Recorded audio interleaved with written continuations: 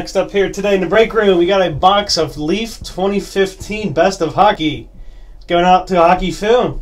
Thank you very much once again. Good luck. All right, looking to get one buyback card and one uh, one of one uh, Leaf card in here. So, uh, been on a good streak with these lately. Hope we can keep it up.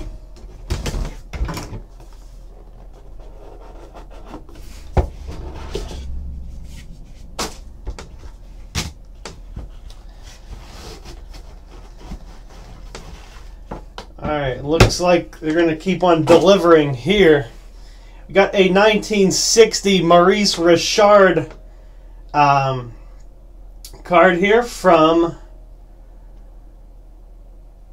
Really say where it is. Um, not too uh, good on these vintage cards. There you go, a graded 84 Maurice Richard. Oh, there we go. Yeah, there's this on the top. Parkhurst.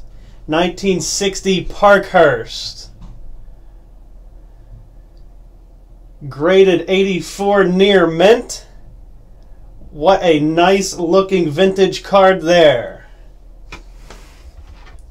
And our one of one is going to be a dual jersey with a patch, Carey Price